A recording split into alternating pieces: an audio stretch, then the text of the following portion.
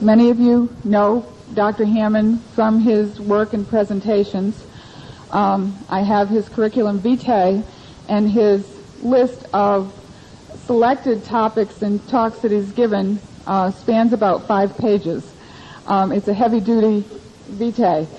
Um, you may be familiar with him also from his uh, recently published um, Hypnotic Metaphors book, a big red oversized book published by Norton uh, two years ago, which has the title of Big Red. um, his education is that he took his BS, MS, and PhD from the University of Utah, the PhD in counseling psychology, educational psychology, and the psychology department. He is a diplomate in clinical hypnosis of the American Board of Psychological Hypnosis, a diplomate in sex therapy, the American Board of Sexology, a clinical supervisor and board examiner, American Board of Sexology, a diplomate in marital and sex therapy, the American Board of Family Psychology, a licensed psychologist in the state of Utah, and a licensed marital and family therapist. So you can tell this man has a lot of experience and a lot of varied experience. He currently serves as Research Associate Professor, Physical Med- Medicine and Rehabilitation, University of Utah School of Medicine.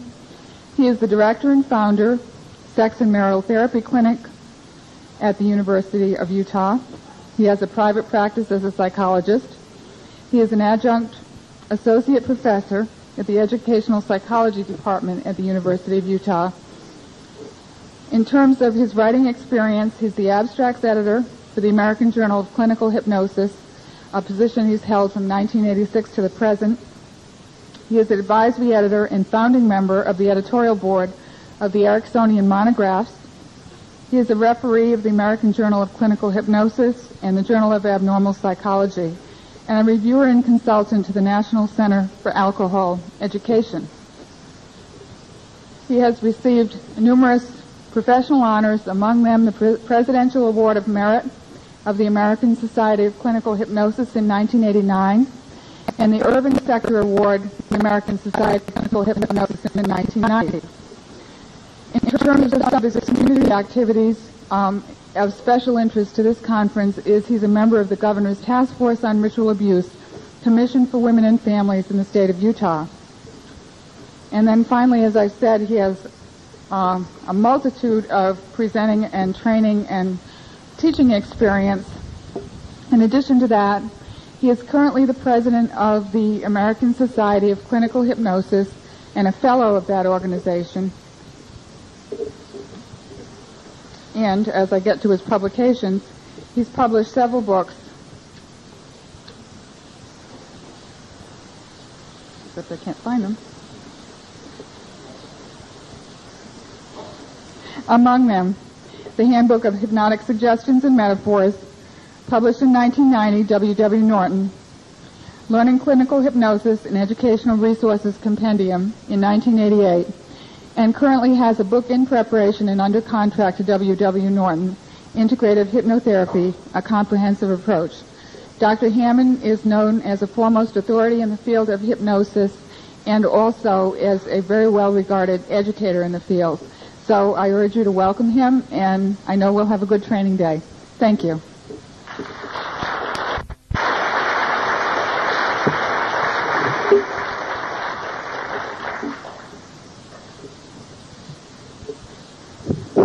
Got a lot to cover today. And uh, let me uh, give you a rough, approximate outline of uh, the things that I'd like us to get into. First, let me ask how many of you have had uh, at least one course or workshop on hypnosis? Can I see the hands? Wonderful. Okay, makes our job much easier. Okay. Uh, I want to start off by talking a little about uh, trance training and the use of hypnotic phenomenon with uh, an MPD dissociative disorder population. Uh, to talk some about uh, unconscious exploration, methods of uh, doing that, the use of imagery and symbolic imagery techniques for managing physical symptoms, input overload, things like that. Before the day is out, I want to spend some time talking about something I think has been uh, completely neglected in the field of dissociative disorders, and that's talking about methods of profound calming for autonomic hyperarousal that's been conditioned in these patients. We're going to spend a considerable length of time talking about age regression and abreaction and working through of trauma. I'll show you with a non-MPD patient some of that kind of work and then extrapolate from that of what I would do similar and different with MPD cases. Part of that I would add, by the way, is that I've been very sensitive through the years about taping MPD cases or ritual abuse cases. Part of it being that some of that feels a little like using patients, and I think that this population has been used enough, and that's part of the reason by choice that I don't uh, generally videotape my work with them. Also, I want to talk a bunch about uh, hypnotic relapse prevention strategies, uh, post-integration therapy today, and finally, I'm hoping to find somewhere in our time frame to spend an hour or so talking specifically about ritual abuse and about mind control programming and brainwashing, how it's done, how to get on the inside with that, uh, which is a topic that in the past I haven't been willing to speak about publicly, have done that in small groups and in consultations, but recently decided uh, that it was uh, high time that somebody started doing it. So we're going to talk about specifics there. Let me suggest now, um, we've got still a lot to, to cover.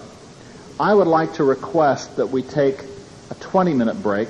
At least what I'll tell you is we're supposed to have a 30 minute break. In 20 minutes, I'm going to start talking about ritual abuse mind control programming. For those of you who'd like a longer break, please feel free. For those of you who want other information, I'll see you in 20 minutes.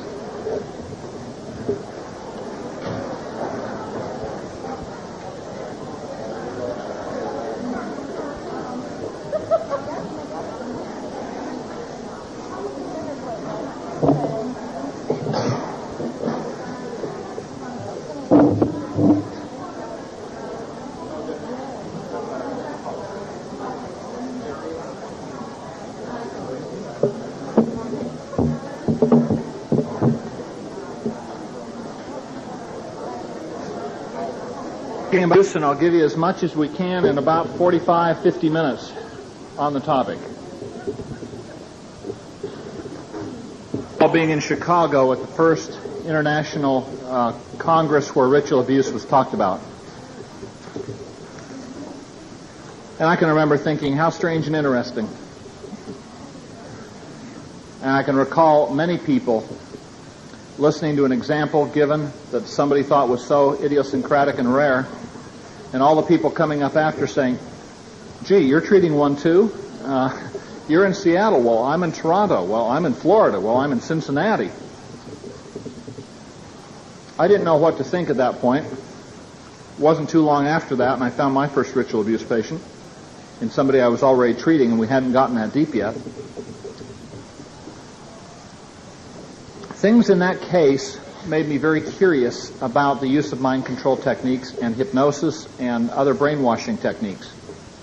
So I started studying brainwashing and some of the literature in that area. And became acquainted with, in fact, one of the people who had written one of the better books in that area. And um, then I decided to do a survey. And from some of the ISSMPD folks, I picked out about a dozen and a half therapists that I thought were seeing more of that than uh, probably anyone else around. And I started surveying them. And the interview protocol that I had um, got the same reaction almost without exception. The therapist said, You're asking questions I don't know the answer to. You're asking more specific questions than I've ever asked my patient. Many of those same therapists said, Let me ask these questions and I'll get back to you with the answer. Many of them not only got back with answers, but said, You've got to talk to this patient or these two patients.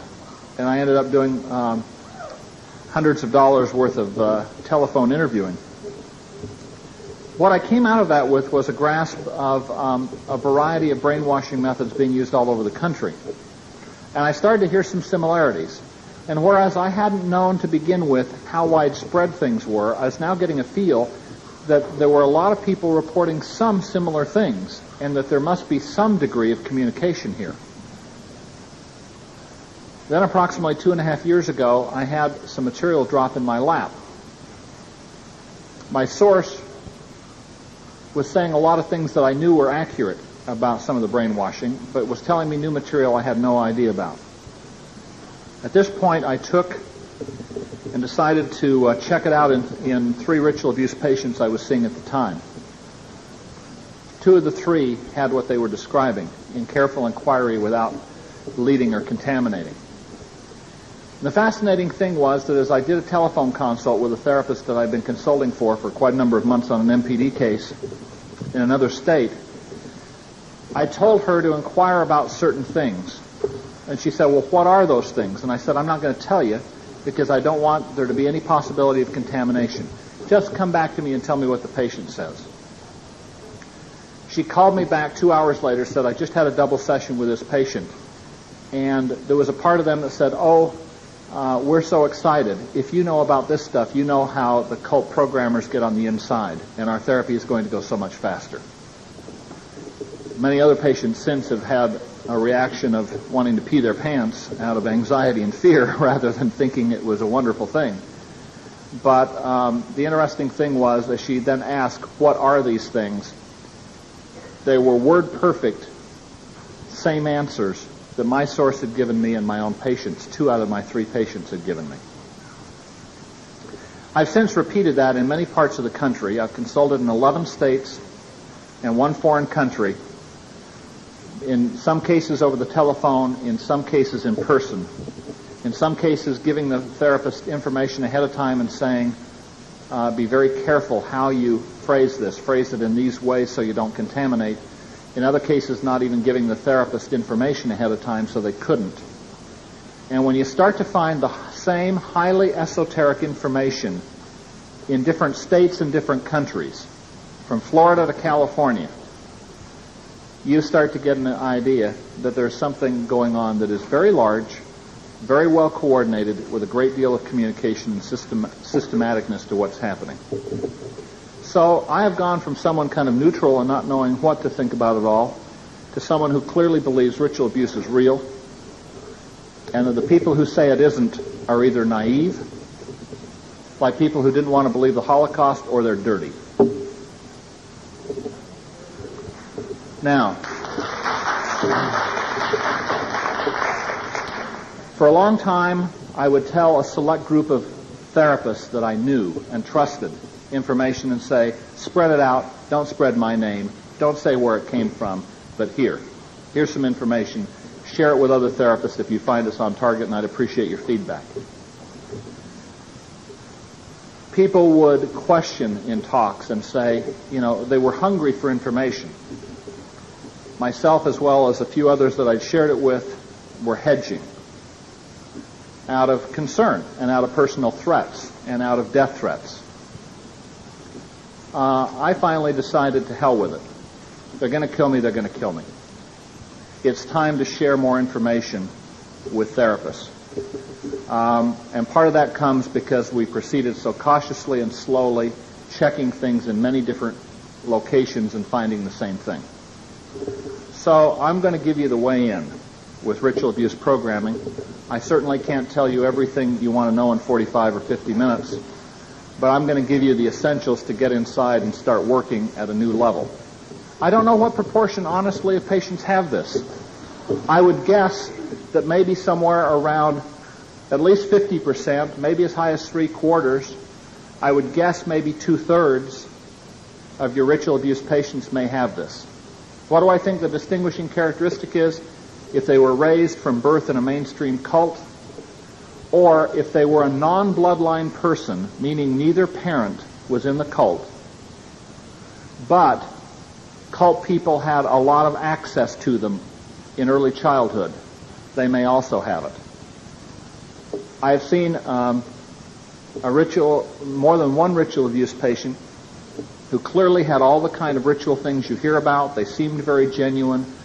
Uh, they talked about all the typical things that you hear in this population, but had none of this programming with prolonged, extensive checking. And so I, I believe in one case that I was, I was personally treating that uh, she was from a kind of schismatic break-off uh, that had kind of gone off and done their own thing and were no longer hooked into a mainstream group. Here's where it appears to have come from.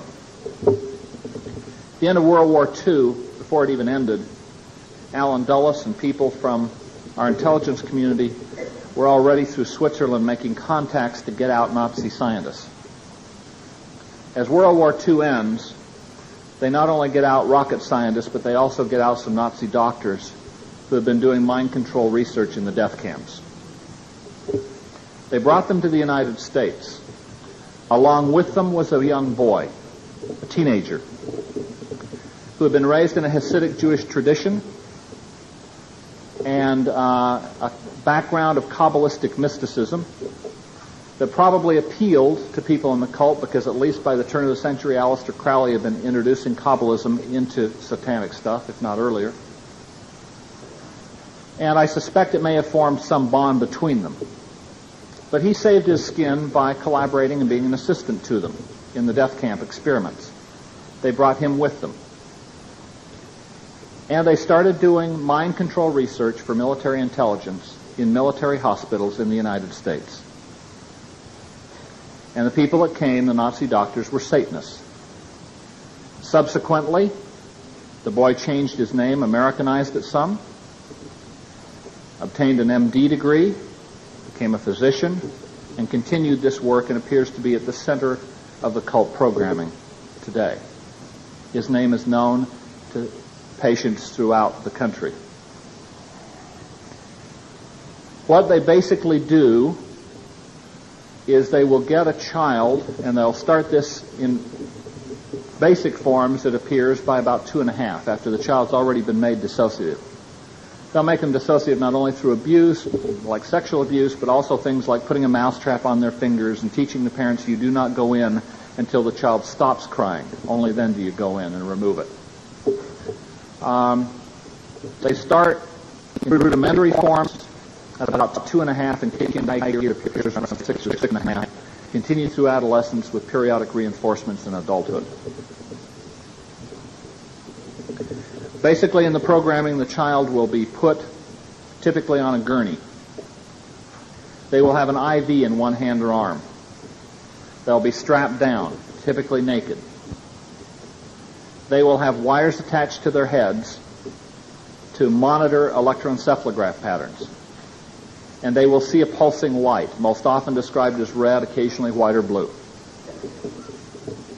They'll be given most commonly, I believe, Demerol. Sometimes it'll be other drugs as well, depending on the kind of programming. They have it, I think, down to a science where um, They've learned you give so much every 25 minutes until the programming is done. They then, as they have that, will describe a pain in one ear, their right ear generally, where it appears a needle has been placed. And they will hear weird disorienting sounds in that ear, while they see photic stimulation, external psychic driving to drive the brain into a brainwave pattern with a pulsing light at a certain frequency. Not unlike the goggles that are now available through Sharper Image and some of those kinds of stores. Then, after a suitable period when they're in a certain brainwave state, they will begin programming them. Let me give you an example of one kind of programming oriented to self-destruction and debasement of the person in a patient at this point in time about eight years old who has gone through a great deal Early programming took place on a military installation. That's not uncommon. I've treated and been involved with cases who were part of this original mind control project as well as uh, having, having, their programming uh, on military reservations in many cases. We find a lot of connections with the CIA. This uh, patient now was in a cult school, a private cult school, where several of these sessions occurred a week. She would go into a room, get all hooked up. They would do all of these sorts of things. And when she was into the proper altered state now, they were no longer having to monitor it with electroencephalographs. She also had already had placed on her electrodes, one in the vagina, for example, four on the head. Sometimes they'll be on other parts of the body. And they will then begin. And they would say to her, You are angry with someone in the group. She said, No, I'm not. And they violently shocked her. And they would say the same thing until she complied and didn't make any negative response. Then they would continue. And because you are angry with someone in the group, or when, when you are angry with someone in the group, you will hurt yourself. Do you understand? She said no, and they shocked her. They repeated it again. Do you understand? Well, yes, but I don't want to. Shock her again. Till they get compliance. And then they keep adding to it. And you will hurt yourself by cutting yourself. Do you understand? And maybe she'd say yes, but they might say, we don't believe you, and shock her anyway. Go back and go over it again. And they would continue in this sort of fashion. She said typically it seemed as though they'd go about 30 minutes. Take a break for a smoke or something. Come back. They may review what they've done and stop, or they might review what they've done and go on to new material. She said the sessions might go a half an hour, they might go three hours. She estimated three times a week programming under the influence of drugs in a certain brainwave state, and with these noises in one ear and them speaking in the other ear, usually the left ear associated with right hemisphere, non-dominant brain functioning, and with them taking, uh, therefore, and requiring intense concentration, intense focusing, and because often they'll have to memorize and say certain things back word perfect to avoid punishment, shock, and other kinds of things that are occurring. This is basically how a lot of programming goes on. Some of it will also use other typical brainwashing kinds of techniques. There will be very standardized types of hypnotic things done at times. There'll be sensory deprivation, which we know increases uh, suggestibility in someone. Not total sensory deprivation. Suggestibility has significantly increased from the research. It's not uncommon for them to use a great deal of that, including formal sensory deprivation chambers before they do certain of these things. Now, let me give you, because we don't have a lot of time, as much practical information as I can. The way that I would inquire as to whether or not some of this might be there would be with ideomotor finger signals after you've set them up. I would say, I want the central inner core of you to take control of the finger signals. Don't ask the unconscious mind. In the case where you're inquiring about ritual abuse, ask for the central inner core. The core is a cult created part. And I want that central inner core of you to take control of this hand and of these finger signals, and when it has, for the yes finger to float up. Now I want to ask that inner core of you, is there any part of you, any part of Mary, if that's the host name, who knows anything about alpha, beta, delta, or theta?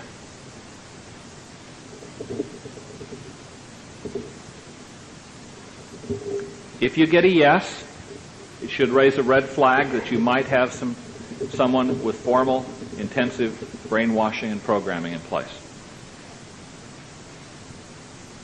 I would then ask and say, I want a part inside who knows something about alpha, beta, delta, and theta to come up to a level where you can speak to me. And when you're here, say, I'm here. I would not ask if a part was willing to. No one's going to particularly want to talk about this. I would just say, I want you to some part who can tell me about this to come out. Without leading them, ask them what these things are. I've had consults where I've come in and sometimes I've gotten a yes to these. But as I've done exploration, it appeared to be some kind of compliance response or somebody wanting, uh, in uh, two or three cases, to appear maybe that they were ritual abuse or something, and maybe they were in some way. But with careful inquiry and looking, it was obvious that they did not have what we were looking for. Let me tell you what these are. Let's suppose that this whole front row here are multiples. and that she has a, an alter named Helen, she has one named Mary, she has one named Gertrude, she has one named Elizabeth, and she has one named uh, Monica. Every one of those alters may have put on it a program, perhaps designated Alpha 009. A cult person could say Alpha 009 or make some kind of hand gesture to indicate this and get the same part out in any one of them. Even though it had, they had different names that they may be known by to you. Alpha appear to represent general programmings, the first kinds of things put in. Beta appear to be sexual programs. For example, how to perform oral sex in a certain way, how to perform sex in rituals, having to do with producing child pornography, directing child pornography, prostitution. Delta are killers, trained in how to kill in ceremonies. There'll also be some self-harm stuff mixed in with that assassination and killing. Theta are called psychic killers. You know, I had never in my life heard those two terms paired together. I'd never heard the word psychic killers put together. But when you have people in different states, including therapists inquiring and asking, what is theta?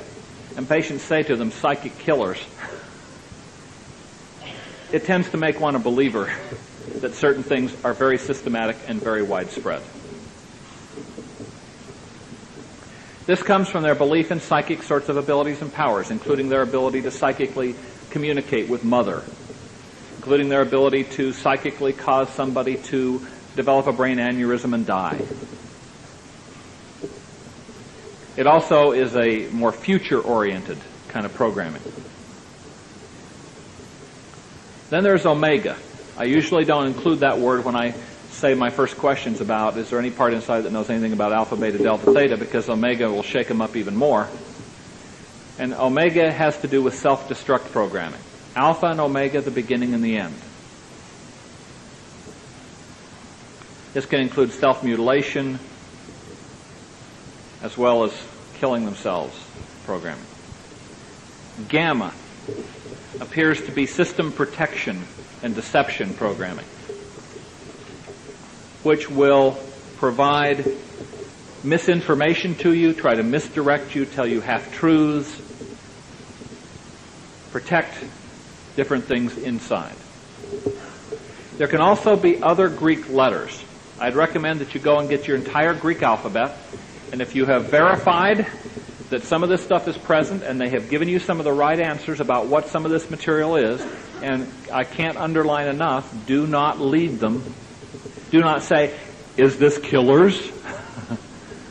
Get the answer from them, please. When you've done this, and it appears to be present, I would take your entire Greek alphabet and with ideomotor signals, go through the alphabet and say, is there any programming inside associated with epsilon, omicron, and go on through. There may be some systematicness to some of the other letters, but I'm not aware of it. I found, for example, in one case, Zeta had to do with the production of snuff films that this person was involved with. With another person, Omicron had to do with their linkage and associations with drug smuggling and with the mafia and uh, big business and government leaders. Um, so there's going to be some individualism, I think, in some of those. Some of those are come home programs. Come back to the cult, return to the cult programs. Here's the flaw in the system. They have built in shut down and erasure codes. So if they got into trouble, they could shut something down and they could also erase something. These codes will sometimes be idiosyncratic phrases or ditties. Sometimes they will be numbers.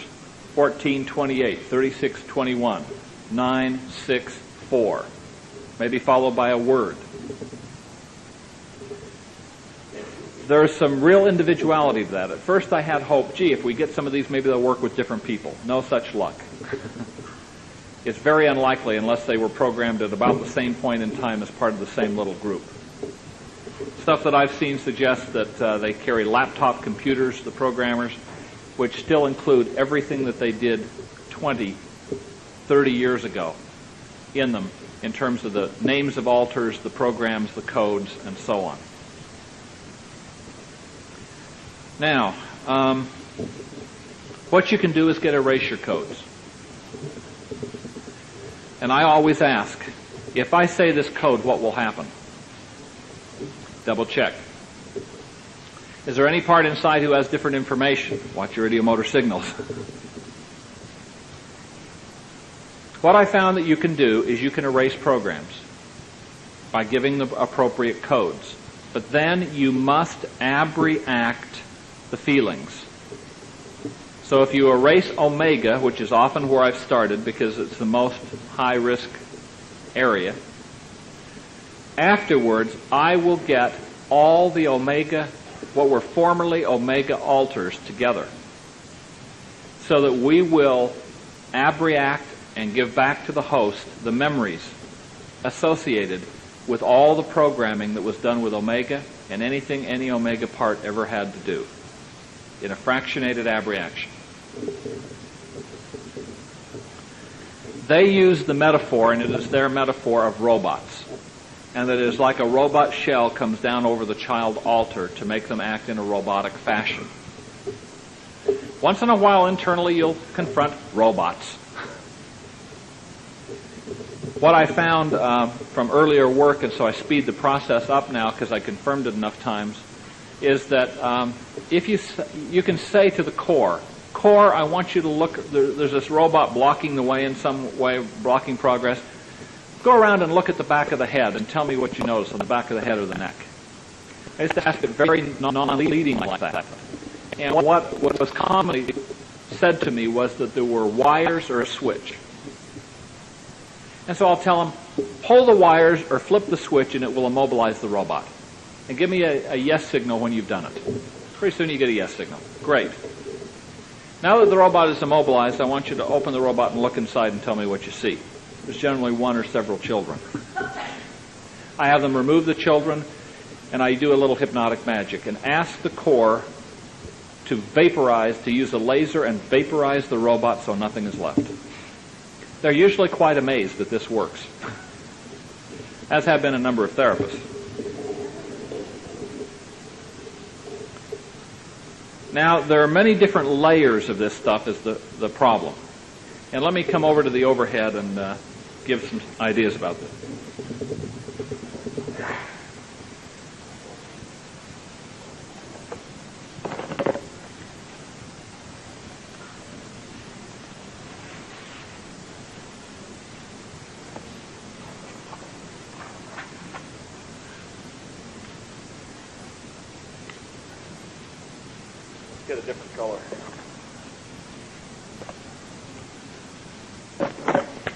Okay.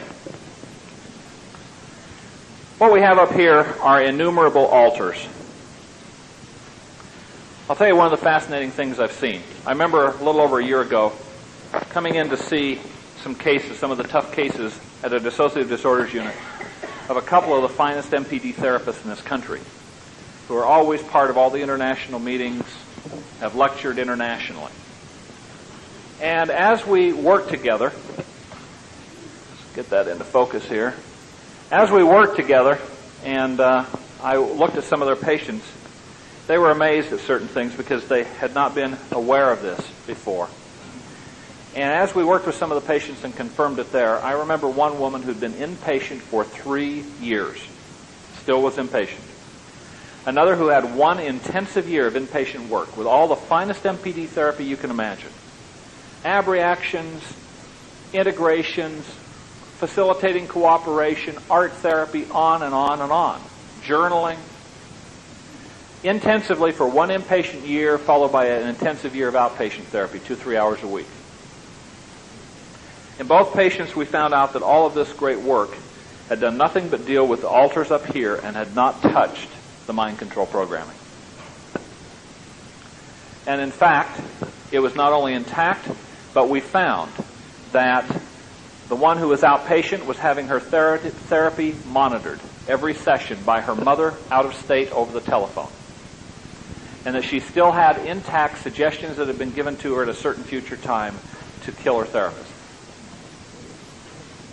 Now, one of the things that I would very carefully check is I would suggest that you ask the core, not just the unconscious mind. Ask the core, is there any part inside that continues to have contact with people associated with the cult? Is there any part inside who goes to cult rituals or meetings? Is there a recording device inside of Mary, if that's the host name? A recording device inside so that someone can find out the things that have been said in sessions. This doesn't mean they're monitored. Many of them just simply have it. Is there someone who debriefs some part inside for what happens in our therapy sessions?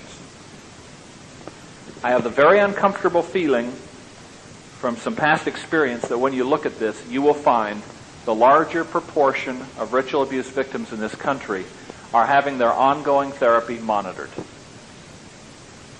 I remember a woman who came in and her, oh, about 24 years old, claimed she, her, her father was uh, a Satanist. Her parents divorced when she was six. After that, it would only be when her father had uh, visitation and he would take her to rituals sometimes up until age 15, and she said, I haven't gone to anything since I was 15. Her therapist believed this at face value. We sat in my office. We did a two-hour inquiry using hypnosis. We found the programming present. In addition to that, we found out that every therapy session was debriefed. And in fact, they had told her to get sick and not come to the appointment with me.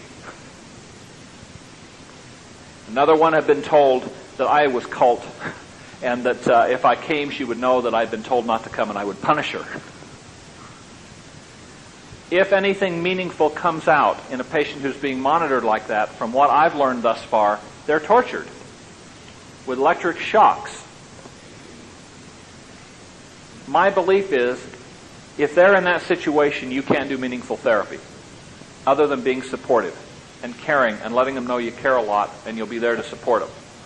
But I wouldn't try to work with any kind of deep material or deprogramming with them because I think it can do nothing but get them tortured and hurt unless they can get into a safe, secure inpatient unit for an extended period of time to do some of the work required. And I have a feeling that when you make inquiries, you're going to find that probably greater than 50% of these patients, if their bloodline, meaning mother or dad or both, involved, will be monitored on some ongoing basis. Now, when you come below the alters, you then have alpha, beta, delta, theta, so on and so forth, the Greek letter programming. And they will then have backups. Backup programs. There will typically be an erasure code for the backups. There may be one code that combines all the backups into one, and then an erasure code for them. Or simply one code that erases all the backups. So, I will get the code for, let's say, uh, omega, and um, for all the omega backups at the same time. After I've asked about what will happen if I give this, I will give the code. And then I will say, what are you experiencing?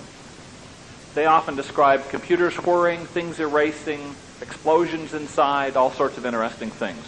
I've had some therapists come back and say, my lord, I had never said anything about robots, and she said something about robots vaporizing. I remember one therapist who had been with me in several hypnosis workshops consulted with me about a crisis MPD situation, and I told her to inquire about alpha, beta, delta, theta. She did. She got back to me. She said, "Yeah, I get a, an indication it's there. What is it?" I said, "I'm not going to tell you. Go back and inquire about some of this." And and we set an appointment for a week or so hence. She got back with me. She said, "I asked what." Uh, theta was, and she said psychic killers. I asked what delta was. She said killers. I said, okay. And so I told her about some of this stuff for a two-hour consult. She called back and she said, this seemed too fantastic. I heard this and I thought, has Cory been working too hard? She said, I'm embarrassed to admit it, But she said, I held you in high professional regard, but this just sounded so off in the twilight zone that I really thought, is he having a nervous breakdown or something? And she said, but I respected you enough to ask about this. She said, I asked another MPD patient and she didn't have any of this. But in this patient, she started describing things and how she worked, for example, with an erasure and she was describing things like robots vaporizing and other kinds of things that she said, I hadn't told her about any of these things. Well, here's the problem. There are different layers, and I think some of them are designed to keep us going in circles forever. They figured we probably, in most cases, wouldn't get below the alters, which they purposefully created.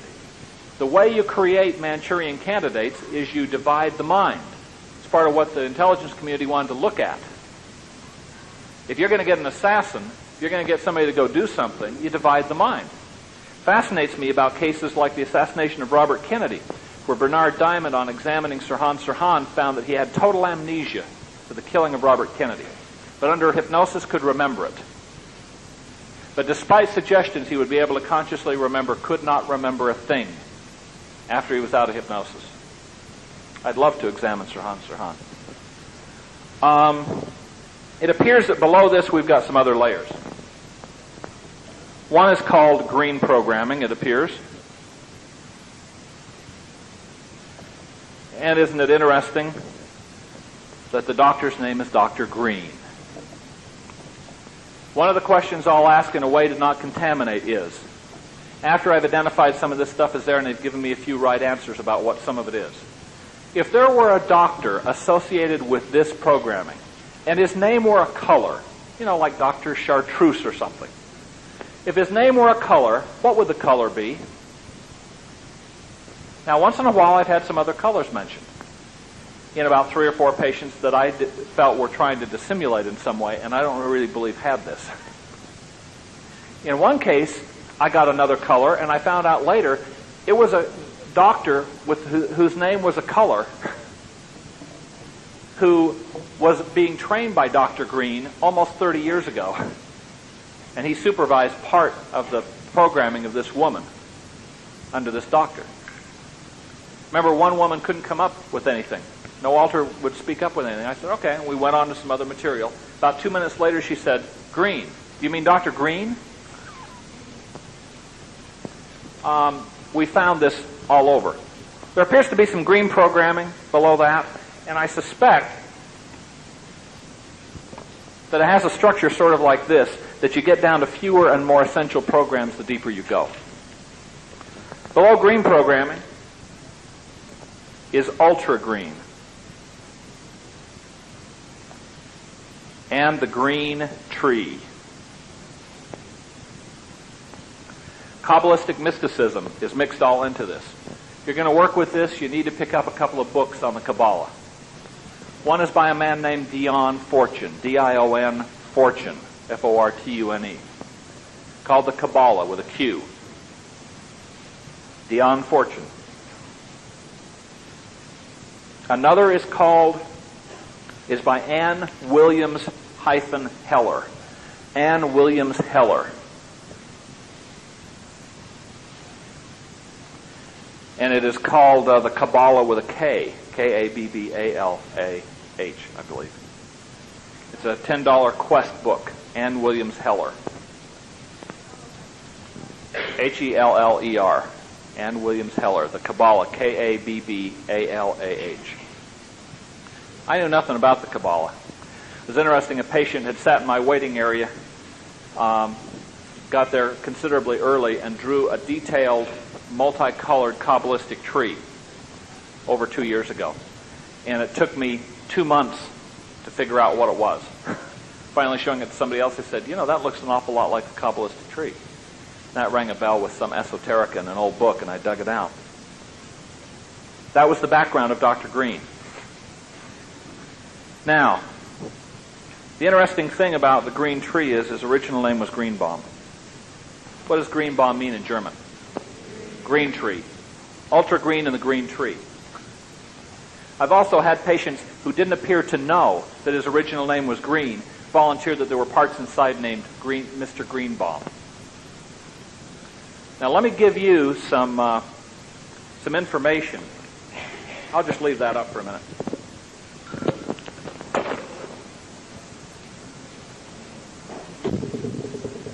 Let me give you some information about parts inside that may be helpful to you.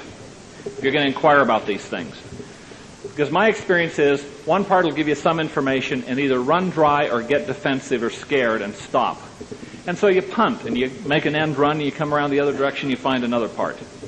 I'll tell you several parts to ask for and ask if there's a part by this name. And by the way, when I'm screening patients and fiddling around with this, I throw in a bunch of spurious ones and ask, is there a part inside by this name and by that name? as a check on whether or not it appears genuine. For example, in addition to the core, I ask, is there a part inside named wisdom? Wisdom is part of the Kabbalistic tree. Wisdom, I've often found, will be helpful and give you a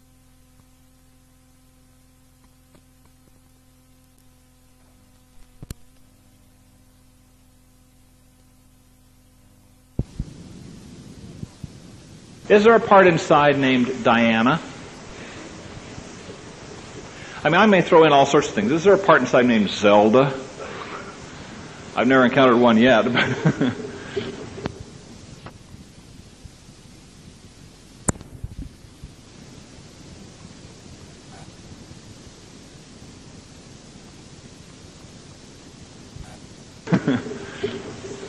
Just to see what kind of answers we get.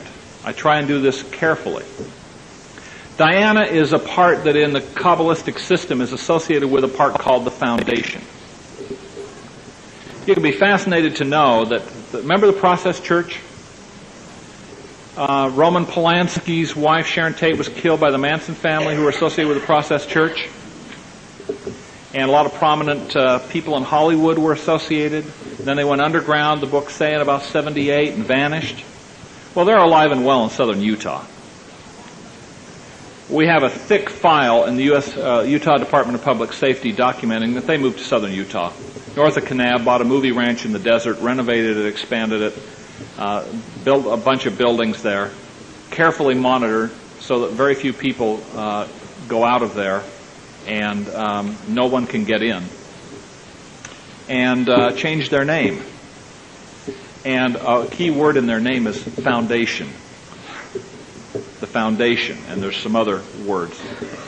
And um, foundation is part of the tree. So you can ask, is there something inside known as the foundation?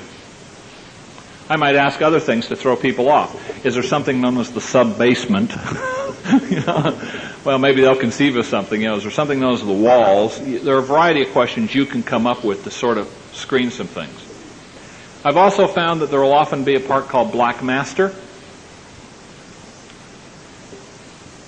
a part called Master Programmer, and that there will be computer operators inside. How many of you have come on to computer things in patients? There will typically be computer operators. Computer operator black, computer operator green, computer operator purple, Sometimes they'll have numbers instead. Sometimes they'll be called systems information directors. And you can find out the head one of those. They'll often be a source of some information for you. I will ask inside, is there a part inside named Dr. Green? You'll find that there are, if they have this kind of programming, in my experience. And usually with a little work and reframing, you can turn them and help them to realize that they were really a child part who's playing a role and they had no choice then, but they do now. And that they played their role very, very well, but that they don't have to continue to play it with you because they're safe here. And that in fact, if the cult simply found out that you'd talked to me and that you had shared information with me, you tell me, what would they do to you? To emphasize that the only way out is through and that they need to cooperate and share information and help me and that I'll help them. So all of these parts can give you various information. Now they have tried to protect this very carefully. Let me give you an example with ultra green. I've discovered this uh, By the way, I, I used to think this programming was only in non or only in bloodline people. I've discovered it in bloodline people, but it's a bit different. They don't want it to be just the same. And I don't think you'll find deep things like ultra green and probably not even um, green programming at this deep uh, or with non-bloodline people. But let me tell you something that I discovered first in a non-bloodline and then in a bloodline. We were going along, and a patient was close to getting well, uh, approaching final integration in a non-bloodline, and she suddenly started hallucinating. And her fingers were becoming hammers and other things like that. And so I used an affect bridge and we went back. And we found that what happened was that they gave suggestions that if she ever got well, got to a certain point, she would go crazy. And the way they did this was they strapped her down and they gave her LSD when she was eight years old. And then when she began hallucinating, they inquired about the nature of the hallucinations so they could utilize them in good Ericksonian fashion and build on them. And then combine the drug effect with powerful suggestions.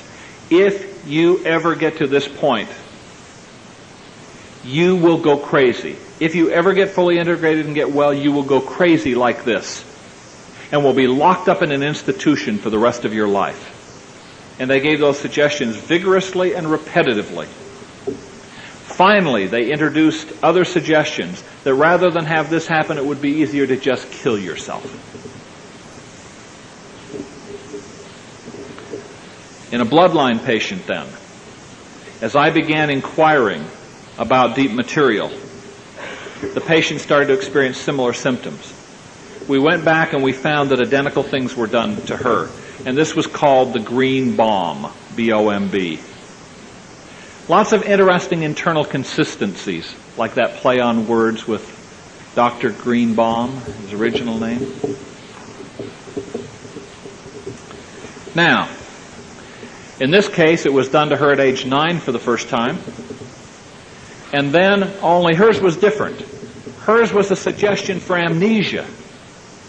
If you ever remember anything about ultra green and the green tree, you will go crazy. You will become a vegetable and be locked up forever. And then finally the suggestions added and it'll be easier to just kill yourself than have that happen to you.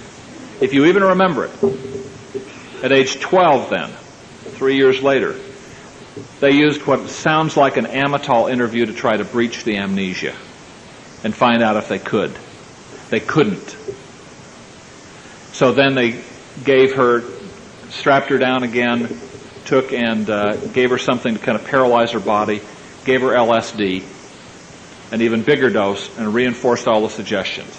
Did a similar thing at the age of 16. So these are some of the kind of booby traps you'll run into. There are a number of cases where they've combined powerful drug effects like this with a suggestion to keep us from discovering some of this deeper level stuff. What's the bottom? Your guess is as good as mine. But I can tell you that I've had a lot of therapists who were stymied with these cases. They were going nowhere. In fact, someone here that I told some basic information about this to in Ohio a couple of months ago said it opened all sorts of things up in a patient who'd been going nowhere. And that's a, an often common thing. Um, I think that we can move down to deeper levels, and if we deal with some of the deeper level stuff, it may destroy all the stuff above it. But we don't even know that yet. And some of the patients I'm working with, we have pretty much dealt with a lot of the top level stuff, and I'll tell you how we've done some of that. We'll take and erase one system like omega then we will have a huge abreaction of all the memories and feelings in a fractionated abreaction associated with those parts. I typically find, I'll say to them, now that we've done this, are there any other memories or feelings that any parts that were omega still have? The answer is usually no. At that point, I will say I usually find that at this point in time, the majority, if not all of those parts that used to be omega no longer feel a desire or need to be different, realizing that you were split off originally by them and want to go home to marry and become one with her again. And I use the concept often now, which came from a patient, of going home and becoming one with her. Going back from whence you came is another phrase I'll use with them. Are there any omega parts inside who do not feel comfortable with that or have reservations or concerns about that? If there are, we talk to them, we deal with them. A few may not integrate. My experience is most of the time they'll integrate, and we may integrate 25 parts at once in a polyfragmented complex MPD. I think it is vitally important to abreact the feelings before you go on. Also, Many patients, it hasn't seemed to matter the order we go in, but I found a couple where it has. If it doesn't seem to matter, I'll typically go omega, then delta because they have more violence potential, then gamma to get rid of the self-deception stuff. If that isn't working, or, or rather, uh, if um, well, what, what I will do before I just assume anything and do that is once we've done omega, and showed them that success can occur and something can happen and they feel a relief after, I will say to them, uh, I want to ask the core through the fingers, is there a specific order in which programs must be erased? Now, maybe it doesn't matter, but is there a specific order in which they must be erased? Most of the time I found no. There are cases where we found yes. I recommend doing one or two or three of those because they'll produce relief and a sense of optimism in the patient. But then I would recommend starting to probe for the deeper level things and getting their input and recommendations about the order in which we go. Question. What has been the typical age and the typical gender of this type of person? I know of this being found in men and women. Most of the patients I know of MPD ritual abuse who are being treated are women, however, but I know of some men being treated where we've uh, found this. Um, a while back, I was talking to a small group of therapists somewhere. I told them about some of this. And in the middle of talking about some of this, all the color drained out of one social worker's face. And she obviously had a reaction, and I asked her about it, and she said, I'm working with a six year old boy, no, five year old boy. And she said, just in the last few weeks, he was saying something about a Dr. Green. And I went on a little further and I mentioned some of these things and she just shook her head again. I said, what's going on? And she said, he's been spontaneously telling me about robots and about Omega. I think you will find variations of this and that they have changed it probably every few years and maybe somewhat regionally to throw us off in various ways. But that certain basics and fundamentals will probably be there. I have seen this in people up into their 40s, including people whose parents were very, very high in the CIA, other sorts of things like that. I've had some that were originally part of the Monarch Project, which is the name of the government intelligence project. Question in the back. I'm still not grasping how one starts, how you find out how to erase. How do you get that information? I would say I want the core, if necessary, using the telepathic communication ability you have to read minds, because they believe in that kind of stuff, so I'll use it. I was trained in Ericksonian stuff, to obtain for me the erasure code for all Omega programs. And when you've done so, I want the yes finger to float up. Then I ask them to tell it to me. Are there backups for Omega programs? Yes. Okay? How many backups are there? Six, they say. Let's say. Uh, it's, it's different numbers. Is there an erasure code for all the backup programs? No. Is there an erasure code that combines all the backups into one? Yes. Obtain that code for me. When you've got it, give me the yes signal again. And it can move almost that fast in some cases where there's not massive resistance. Question.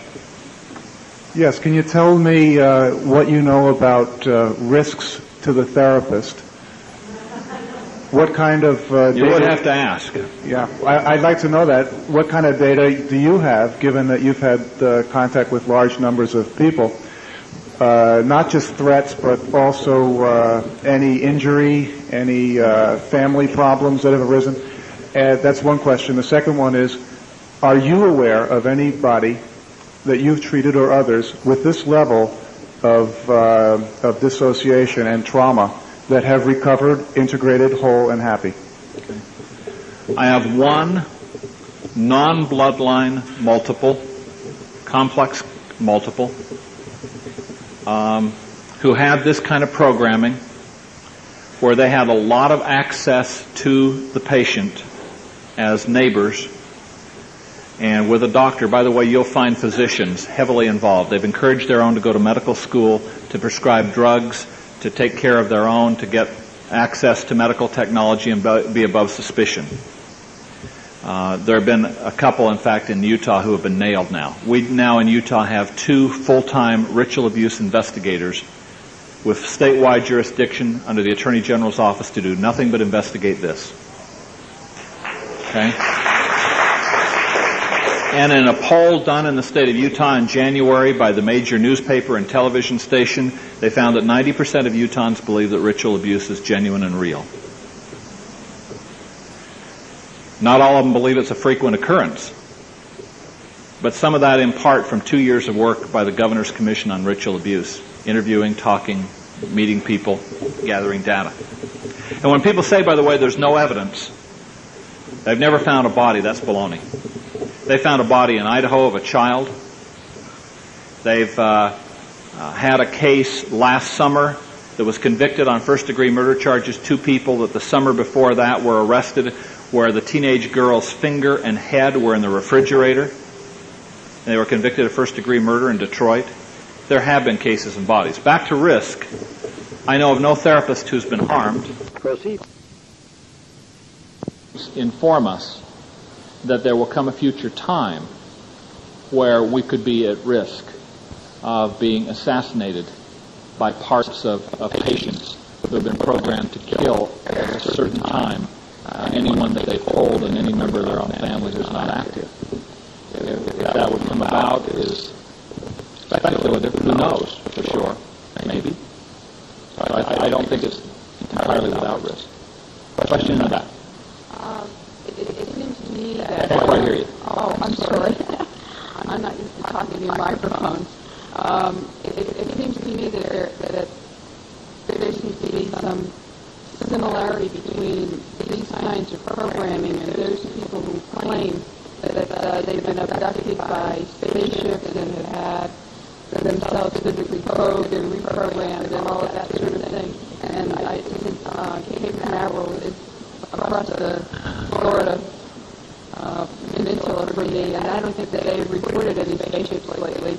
I was just wondering, uh, uh, is there any sort of relationship between them? I'll share my speculation that comes from others, really. I have not dealt with any of those people. However, I know a therapist that I know and trust and respect and who I've informed about all this uh, a couple of years ago and uh, found on a lot of patients and so on, who is firmly of the belief that uh, those people are in fact ritual abuse victims who have been programmed with that sort of thing to destroy all their credibility. Because somebody's come in reporting abduction by a flying saucer, who's going to believe them about anything else in the future? And also is the kind of thing that can be pointed to and said, this is as ridiculous as that.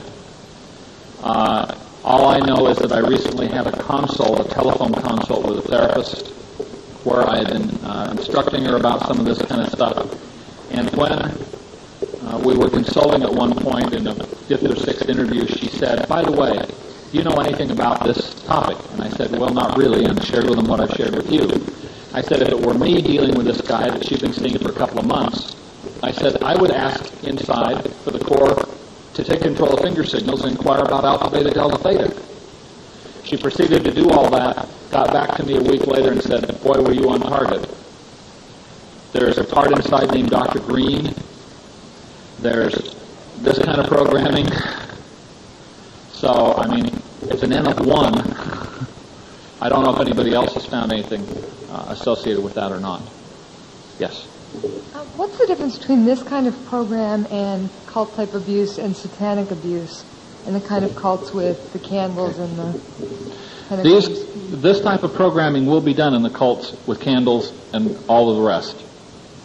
My impression is this is simply done in people where they have great access to them or their bloodline and their parents are in it, where they can be raised in it from an early age. If they are bloodline, they are the chosen generation. If not, they are expendable and they are expected to die and not get well. And there will be booby traps in your way if they're non-bloodline people that when they get well, they will kill themselves. And I'll, I'll tell you just a little about that. But my belief is that some people that have ritual abuse and don't have this have been ritually abused, but they may be part of a non-mainstream group. The Satanism comes in in the overall philosophy overriding all of this. People say, what's the purpose of it? My best guess is that the purpose of it is that they want an army of Manchurian candidates.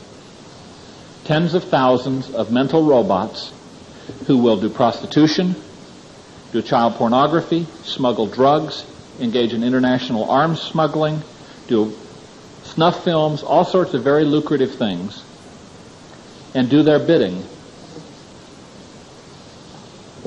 And eventually, the megalomaniacs at the top believe, create a satanic order that will rule the world. One last question, then I'll give you a couple more details, and we need to shift gears.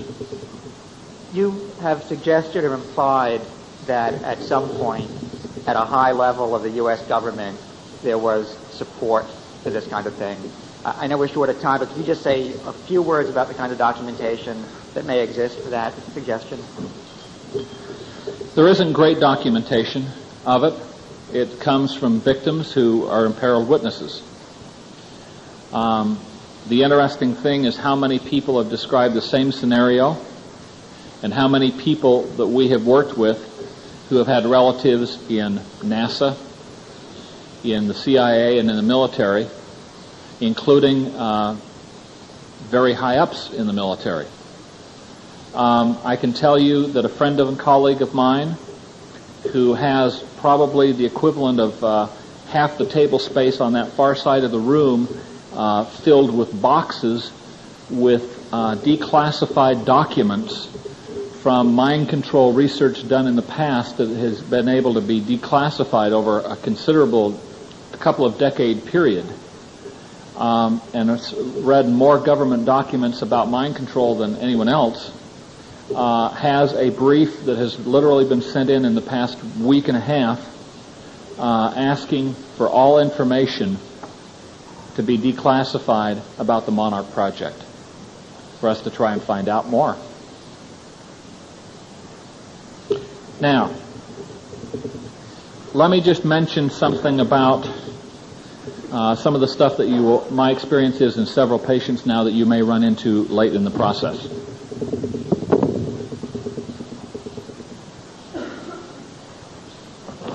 I know I'm throwing a lot at you in a hurry. Some of it is completely foreign, and some of you may think, uh, gosh, could any of this be true? Just, you know, ask.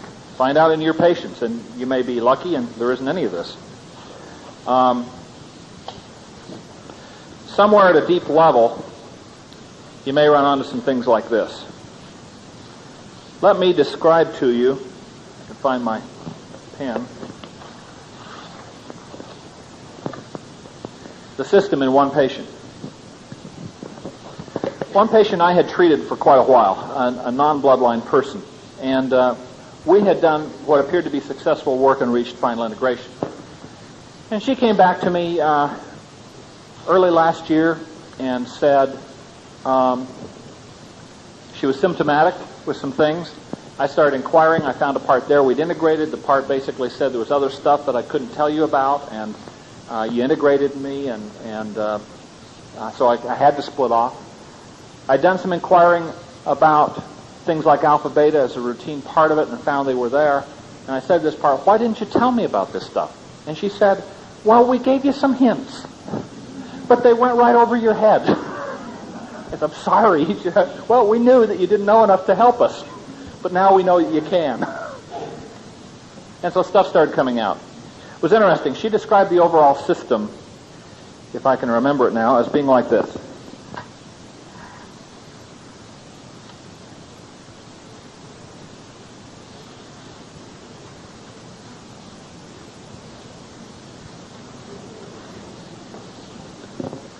Circle represented harm to the body. A system of alters whose primary purpose was to hurt her, including symptoms like Munchausen's, uh, self-mutilation, other kinds of things. Each of the triangles represented still another different system. She said, with the exception of me, this one part, you dealt with the whole circle with the work that we did before, but you didn't touch the rest of the stuff. In the middle of all this was still another system consisting of the Kabbalistic tree. which some of you are aware looks approximately like this with lines in between and so on and so forth.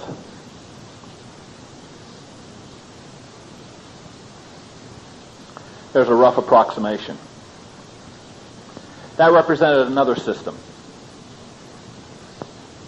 And then once we got past that, she implied that this entire thing was somehow encompassed by, what do you call it? An hourglass.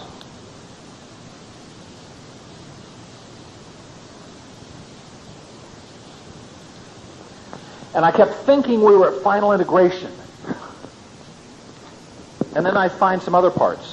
This person had an eagle eye husband who was watching for certain things that we found to be reliable indicators.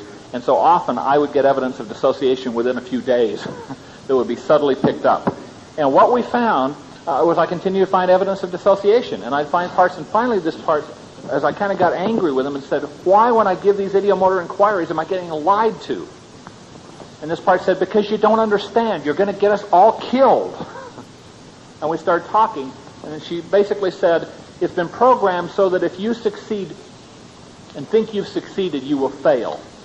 They build it in as a way to laugh at you. That if you ever get us integrated, we will die. And here's what she said. This part said, I'm one of 12 disciples, and I found this in others. 12 disciples within this hourglass, each of whom had to memorize a disciple lesson, which were basic satanic kind of premises and philosophies of life. Like, be good to those who hurt you, hate those who are nice to you, on and on and on. There may be two or three sentences like that associated with each. They'd had to memorize them. And they said, We are like grains of sand falling. And when the last grain of sand falls, there's death. I said, Is death a part? Yes. When the last grain of sand falls, the sleeping giant awakens. Sleeping giant was death, who was then to kill them on day one or day six after awakening unless certain things were followed, and we did some of those. Well, we also found Death had a sister as a backup, used with mirrors to create the sister part. We had to get past and deal with that too. And then we found, and by the way, Death had certain things that they said had to be done for them to integrate. And I started to say, oh, come on. They lied to you before. And she said, wait a minute. This is what they said you'd say. They said that no doctor would ever believe that they had to go to these extremes to get us well, and that's why part of the reason they'd fail. So, well, tell me, tell me again. She said, I have to be dressed all in red. I have to have Demerol on board. I've taken Demerol. I have to, uh, a code has to be given, and it has to be in a room that's totally dark. It has to happen on day one or day six, after this part's been awakened. I say, what do I got to lose? As a psychiatrist give her a little Demerol. We used the code. My office didn't have any windows anyway. it was pretty easy. Oh, and there had to be uh, a couple, three or four, I think, candles lit. Well, fine. So we did it, and everything went well. Maybe it would have gone well if we hadn't done it, but I decided not to take a chance and to trust the patient, maybe. Well, so we go on, and then we find another part. There's death and destruction. Another backup, also with a sister, that we had to get through. In fact, I think there were two backups there. And interestingly, the very last part was an extremely nice part, made especially that way so that they wouldn't want to lose them, because they would be so adorable and so loving and so sweet that they wouldn't want to maybe get rid of them. And then we found that she continued to have these feelings, with this last part left now, of darkness and blackness inside. And what did we find? A curtain. She said they assumed that if you ever got to this point, you would, and along the way, by the way, we had encountered the stuff about the LSD stuff, the Greenbaum programming. And the message was that um, she said there is a curtain behind which are the remaining feelings and memories. But it can't be opened from the middle. It's like a stage curtain. It has to be opened this way. But it can't be opened. They assumed that you would deal with all the, try and deal with all the feelings. It, that can't be opened until you've dealt with that last part. And they've integrated. And so far it looks like we've got integration that's holding. So I found death and destruction and the hourglass in non-bloodline. The tree and the hourglass, this patient informed me, were made of sand because we were meant to die. We're expendable. We're the unchosen generation. I've heard variously that it's crystals or blood that fill the hourglass in bloodline people. And by the way, you can do real simple things like turn the hourglass on its side so nothing can fall out, so time stands still to be able to do certain kinds of work. Uh, spread the grains of sand on the seashore so that they can't be numbered and the time will uh, not be counted. Uh, got that idea from a ritual abuse victim who had seen some of this kind of programming done, but uh, another therapist uh, was seeing. So those are maybe just a few other hints about things that may be helpful and meaningful. We're talking about very intensive kinds of things, and um, at deep levels. But to me, this gives us two things. The one thing it gives to me is hope, because it gets the material and it makes progress like nothing else we've ever seen with these people who have it. The second thing it does for me is it demoralizes me too. Because I thought three years ago I had a pretty good idea about the extent and breadth of, of what they've done to these victims. I had no real appreciation for the depth and breadth and intensity of what they've done. Now, I want to come back to the other question over here now.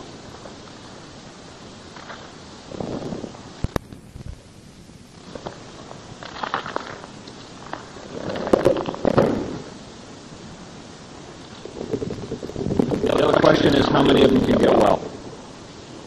We don't know. Most things in the mental health profession, we accept that two-thirds of patients are going to improve, maybe 70%. There's very little we can get everybody well. I think one of the sad things we have to face is that many of these patients will probably never be well. My personal belief is that if they are being messed with, their only hope of getting well is if they can somehow get out of contact. Now, I know patients who have gone to other states and simply had deep level alters pick up the phone and call and say, this is our new address and phone number, so they can be picked up locally. I'm in an inpatient unit for an extended period of time. If they are in a cult from their area and they're still being monitored and messed with, my own personal opinion is we can't get them well and can't offer more than humanitarian caring and supportiveness. Lots of therapists do not like to hear that. That's my opinion. I believe that if somehow they're lucky enough to be wealthy enough, to have protection, to have somehow gotten away in some way, and we can work with them without being messed with, that they have a chance to reach some semblance of normality and livability with enough intensive work. My own personal belief is I don't think anybody with this kind of programming is well in this country yet. There are some who are well along the, lo- the way. I've got a couple who are well along in their work and have done a tremendous amount, but they're clearly not well yet. Could you speculate on the relationship between this stuff and the fantasy games that have been proliferating, Dungeons and Dragons and that sort of thing? Well, there are a lot of things out there to cue people. You want to see a great movie, interesting movie to cue people? Go see Trancers 2. You can rent it in your video shop. Came out about last fall. One night in sheer desperation for something at the video store. You know, nine o'clock on Friday night, everything's gone. I rent a couple of movies, and one of them is that. Fascinating. They're talking about a green world order. Yes, Trancers 2. And who is the production company? Full Moon Productions. I couldn't see much cueing in Trancers 1, but who is the production company on Trancers 1? Alter Productions. there are lots of things around that are cueing. There's an interesting person in the late 60s who talked about the Illuminati. Have any of you ever heard of the Illuminati with regard to the cult? Had a patient bring that up with me just about exactly two years ago. And we've now had other stuff come out from other patients. Appears to be the name of the international world leadership. There appear to be Illuminati councils in several parts of the world, and one internationally. The name of the international leadership of the cult, supposedly. Is this true? Well, I don't know.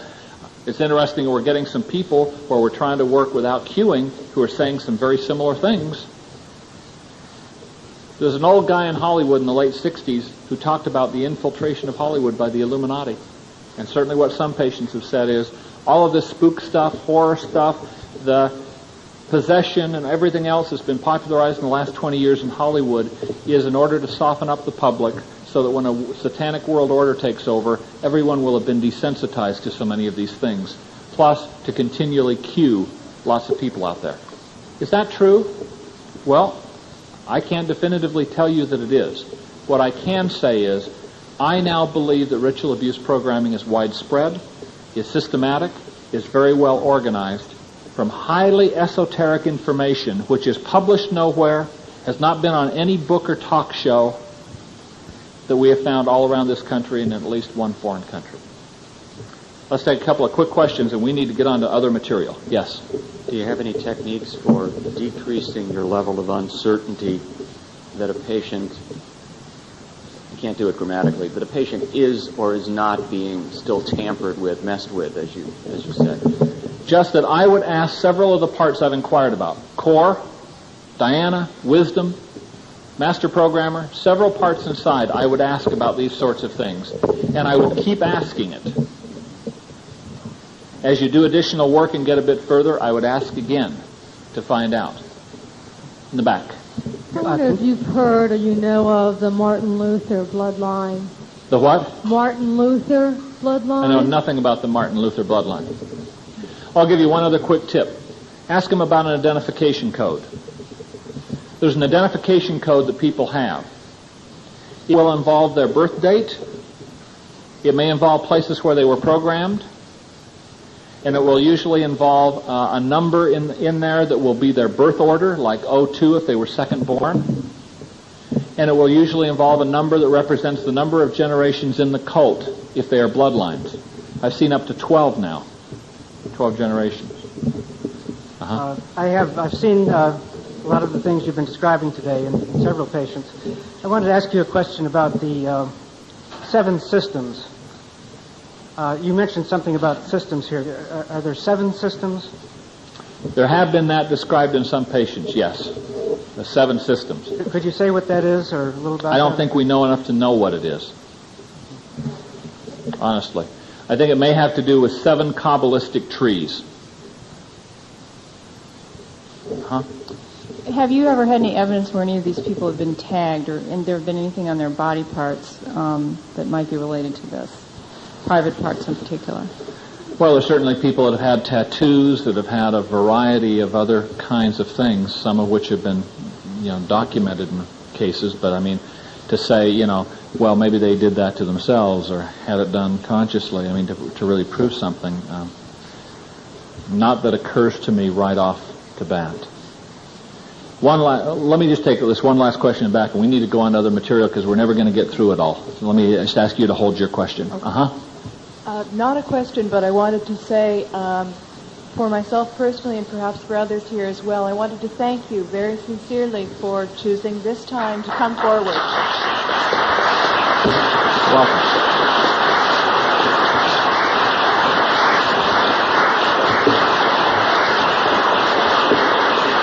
Does anyone want to join us in a standing ovation for this material? It's wonderful. Uh, a dear friend who's one of the top people in the field, who I know has had death threats, but I know struggled for professional credibility in believing in MPD and was harshly criticized for even believing in that 10 and 15 years ago and struggled to a point of professional credibility. I think in his heart of hearts he knows it's true, but he will say things like, I wouldn't be surprised to find tomorrow it was an international conspiracy, and I wouldn't be surprised to find tomorrow that it is an urban myth and rumor. He tries to stay right on the fence. And I think the reason is because it's controversial, because there is a campaign underway saying these are all false memories induced by, along with incest and everything else, by Oprah and by books like The Courage to Heal and by naive therapists using hypnosis. And it's controversial. My personal opinion has come to be if they're going to kill me, they're going to kill me. But there's going to be an awful lot of information that's been put away that'll go to investigative reporters and multiple investigative agencies if it happens, and an awful lot of people like you, I hope, that if I ever have an accident, will be uh, pushing for a very large-scale investigation. I think we have to stand up out of some kind of moral conscience at some point, and I tried to wait until we had gotten enough verification from independent places to have some real confidence that this was widespread. So there, I know we've gone like a house of fire to try and pack as much as I could in for you. I hope it's given you some things to think about and some new ideas, and I appreciate being with you.